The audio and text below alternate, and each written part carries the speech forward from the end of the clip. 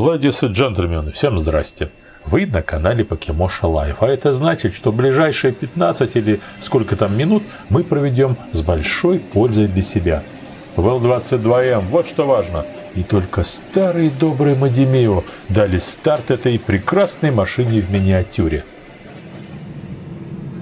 Я долго думал, долго думал, но вот смотри. Сначала Модимио выпускает ВЛ-60К.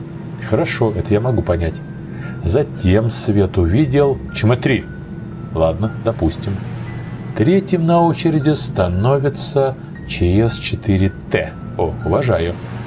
А вслед за ним парик, овечка. Ошалеть. Но это еще не все.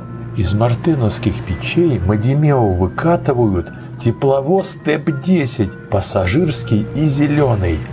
И вот сейчас они утверждают, что уже подготовили ВЛ-22М, этот сверхэлектровоз, который одним своим видом способен и все такое. Однако не будем заниматься словоблудием, а лучше по-тихому откупорим кубышку. Тарам! Тарам! И вот она, эта коробочка, в которой должен находиться ВЛ-22М. Давайте же откупорим кубышку. Я еще никогда не видел модель ВЛ-22М от Мудимио.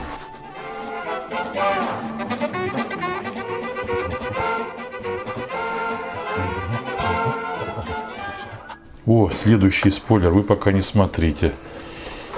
И мы, и мы видим, и мы видим, и мы видим ВЛ-22М. Ошалеть.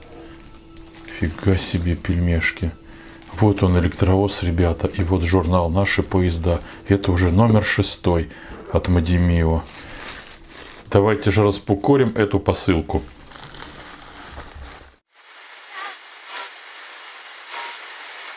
Ну вот, друзья мои, распаковка завершена. И по итогу мы получаем следующие девайсы. Журлик. Открытку. И, наконец, гвоздь программы. Локомотив. Электровоз ВЛ-22М. Это как ЧС-4Т, только ВЛ-22М. Начнем по традиции с журнала. Электровоз в сторону. Открытку вообще бы не надо было показывать раньше времени. Ну ничего. Вот он, легендарный журнал «Наши поезда» номер 6 от Мадимио ВЛ-22М. 2026 – это машина, которая стоит в музее на Рижском вокзале. А здесь она, видите, еще горячая, даже с грузилом едет. Как обычно, три раздела. Электровозы семейства первых, судьба машины человека и шедевр культуры. Про какие-то там вокзалы. 1892 это Щербинка. Эта машина на экспо катается. Вот тогда ее сфоткали. Последний электровоз с урамским кузовом. Это точно. ВЛ-22М стали первыми крупносерийными электровозами СССР и последними с кузовом так называемого сурамского типа – Сурамский перевал суровый чуть менее чем полностью, с подъемами по плюс 100-500 тысячных, естественно, был электрифицирован одним из первых. И покатили там электровозы. Сначала американские серии S, потом итальянские SI, а затем и советские VL-19. VL-22 стал апгрейдом девятнашки, сохранив прежний кузов. Электровозы семейства первых – а это обычная пассажирская машина, ну, по крайней мере, с пассажирским поездом, на участке Ермак-Чусовская. Еще 95 год. Вот, пожалуйста, 2026 в музее на, на Рижском вокзале, рядом Д1. Надеемся, что Мадимио когда-нибудь сделают и голову Д1. Ставь лайк, если тоже хочешь увидеть модель Д1 в серии «Наши поезда». Старомодные конструкции – Год создания, скорость, мощность. Вроде как первым ВЛ-22М стала машина с номером 185, выпущенная Невзом в 1947 году.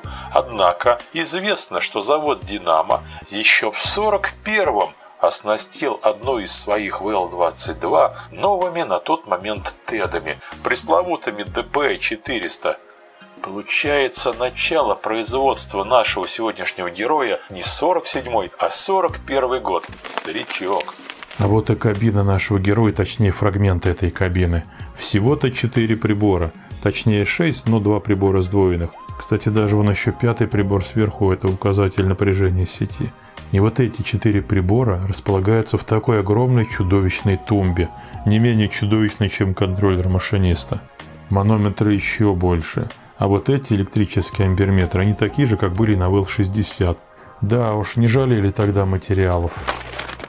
Вот она картинка, которую нужно ламинировать и в рамочку. А вот и открытка. Вот сейчас пришло время открытки. Смотрите, 2026. С грузилом полувагона. Интересная деталь. На картинке участок постоянного тока, однако мы видим одинарный контактный провод. Скорее всего, это связано с тем, что из-за большого путевого развития необходимо было немного упростить контактную сеть. Вот она открытка, видите, она такой сепий под старину. 5790. Все равно небольшой тираж. Эти открытки нужно беречь. А вот что это за такой кругляшок? Может быть это для электропневматических тормозов клемная коробка? Если так, то этот электровоз был когда-то и пассажирским. Судьба машины человека. Вот Щербинковская машина. Смотрите, 92 год на кольце в Щербинке как исторический экспонат. Электровозы ВЛ-22 носили прозвище «Крокодайл» «Музыкальная шкатулка». Мало кто знает, но ВЛ-22М в узких кругах имел кличку «Скворечник». По легенде, на скорости и открытой двери в Кабу иногда залетали невнимательные птички-невелички. Вот, наверное, они офигевали. Летишь себе на эшелоне, никого не трогаешь, триммеры щелкают. И вдруг фигак! И ты уже в кабине электровоза. Жесть. И, наконец, шедевр культуры – что это за вокзал? Ярославский. А здесь вангуем заметка от товарища Вульфова. Точно, Алексей Вульфов. Ярославль. В общем, опять-таки коррелируется вокзал и вот эта заметка. Немножко рекламы. Наши мотоциклы от Мадемиева. Оказывается, даже такая серия есть. Вятка электрон. А здесь спойлер – Спойлер следующего номера ТЭП-60 от Мадемеева. ТЭП-60 это легендарный тепловоз. Всего Мадемеева планирует 50 выпусков, каждый масштабе 1 к 87. По подписке доставка будет бесплатной и, по-моему, даже стоимость каждого журнала будет ниже. Пожалуй, пришло время ознакомиться с самой моделью. Таран! И вот он, гвоздь программы ВЛ-22М, наши поезда Мадемиева. Масштаб 1 к 87.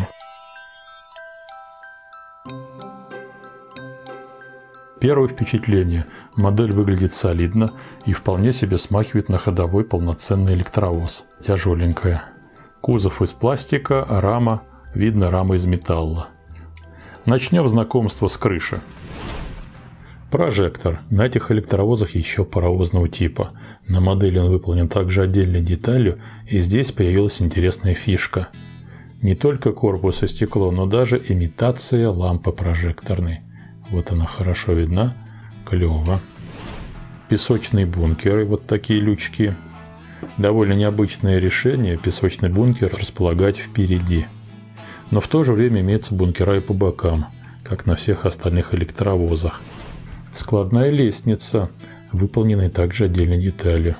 Эта лестница имеет блокировку с токоприемником, иначе говоря, при разложенной лестнице токоприемник поднять будет невозможно, по крайней мере на исправном электровозе. Сами токоприемники, понятно, что рога неподвижные, но они вполне себе достоверные. В этот раз опять-таки угольные вставки выполнены черным, а укосины красным – Кронштейны, изоляторы, нижняя и рама очень тоненькие, достоверные. Комплект пружин, механизм подъема токоприемника, пневматический цилиндр. В целом рога выглядят очень убедительно. Также отдельной деталью показаны трубопроводы. Вот один трубопровод и вот второй. А вот главные резервуары. Четыре резервуара, тоже трубочки от них отходят. Переходим к кузову. Вот он наш кузов, вот этот балкончик, так называемый кузов сурамского типа. Машина ВЛ-22М способна работать по системе многих единиц. Об этом можно судить по вот этой колонке с розетками межэлектровозного соединения. Розетки – это тема. Мы знаем, что лишь половина ВЛ-22М имела рекуперативное торможение, и внешне это легко можно определить по количеству розеток. Без рекуперации машины были вот такими. А с рекуперашей снизу прикручивалась еще одна четвертая розетка. Вот такой лайфхак. Буферные фонари выполнены также отдельной деталью, они паровозного типа. Вон имитация кронштейна, на котором этот буферный фонарь располагается, ну и сам фонарик с отдельным стеклышком и даже белой окантовкой. Прекрасные фонарики. Вот такие, видите, цепочки. Ну, то есть как бы цепочки защитные.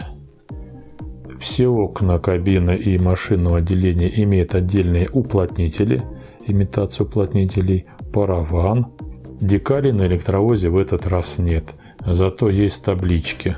Табличка Невза и табличка заводская. Невзовская табличка в таком же виде просуществовала вплоть до электровозов ВЛ-86F и даже дальше. Это как бы стилизованный токоприемник, внутри которого буковка N. Жалюзи забора воздуха.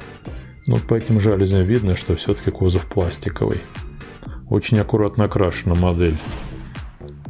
Отдельного внимания заслужит интерьер кабины машиниста. Если приглядеться, то в кабине можно наблюдать контроллер КМ4, а также сидушки. Более того, там даже представлены три печки, вон они видны, располагаются на противоположной стенке. И даже имеется колонка ручного тормоза. Кабина просто великолепная. Наш пациент не всегда носил нынешнее имя. Первоначально его называли СМ-22, типа Сурамский, модернизированный, с нагрузкой от оси 22 тонны. Затем больного переименовали в привычный персоналу ВЛ-22, присвоив номер 146, продолжив таким образом номерной ряд ВЛ-19.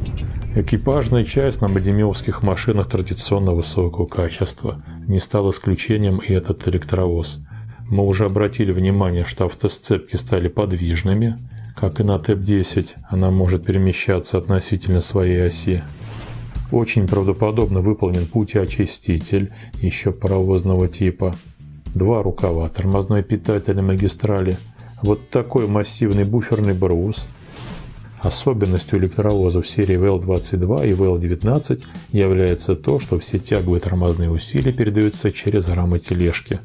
Имеется жесткое межтележечное соединение. В принципе, это в какой-то степени показано и на модели от Madimeo.